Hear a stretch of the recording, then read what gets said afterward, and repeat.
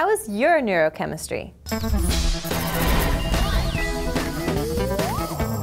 Hi everyone, it's me, your resident molecular neuroscientist here for DNews. These days, it seems that everyone is a chemist, and our own brains are our experimental medium. Caffeine, nicotine, and alcohol are our favorite legal reagents, and some states have added a new one.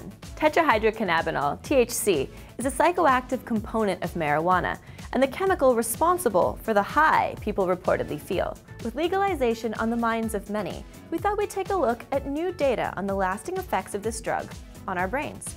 Now, I want to say up front that studies that attempt to examine functional and structural changes in human brains and attribute them to chronic drug exposure are extremely challenging because it's nearly impossible to control all the variables inherent in our everyday human lives. While mice and other model organisms share the same genetic sequence, live in the same types of cages, eat the same food, and share the same sleep schedule, it is impossible to replicate these conditions in human studies. The next time you're looking at a news report on a human psychotropic drug study, ask yourself how many test subjects were these conclusions based on?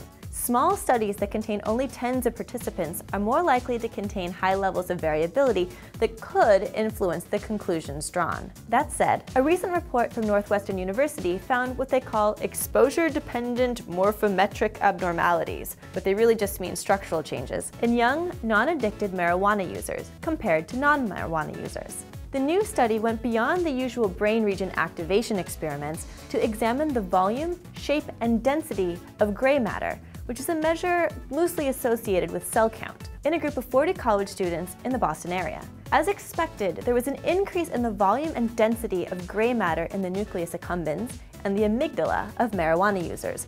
But what was really interesting was a change in shape of the nucleus accumbens, but only in the marijuana users. The nucleus accumbens is one of my favorite brain regions because it's an important connection in the set of neural pathways we call the reward circuit. The pleasurable feelings you get when you see or experience something that makes you happy is because of activation in this important brain area. That all sounds good, right?